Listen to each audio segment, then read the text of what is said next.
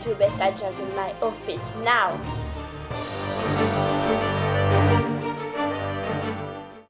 We have a problem.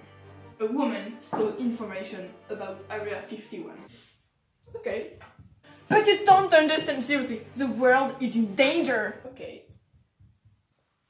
Well, find me this bitch. Me? You both twerk.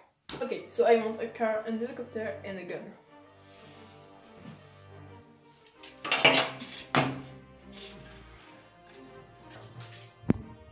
Cool.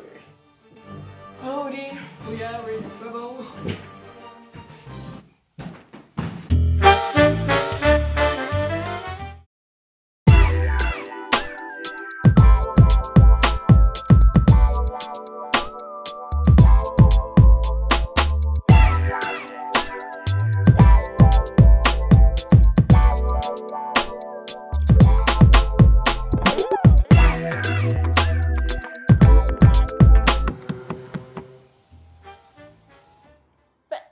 Are you doing? You haven't got your driving license.